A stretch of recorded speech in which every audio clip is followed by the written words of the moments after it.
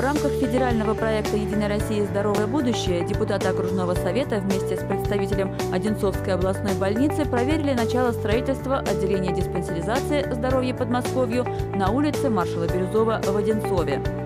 Строители установили ограждение по периметру, готовят подъездные дороги для доставки стройматериалов.